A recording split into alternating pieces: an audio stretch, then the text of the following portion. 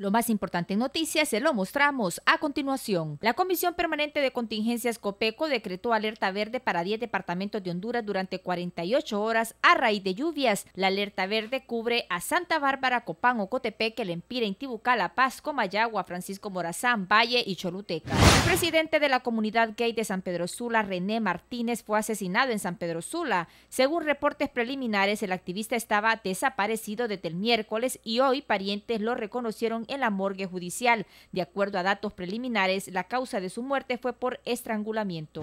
La maestra Mirtalia Hernández, quien se desempeñaba como directora de la escuela Gustavo Castañeda de la Ceiba Atlántida, fue encontrada sin vida junto a uno de sus hijos en la aldea Satuyé, a pocos metros de una posta policial en la salida de Colón. Se desconocen hasta el momento los móviles de este doble crimen y a los responsables del hecho.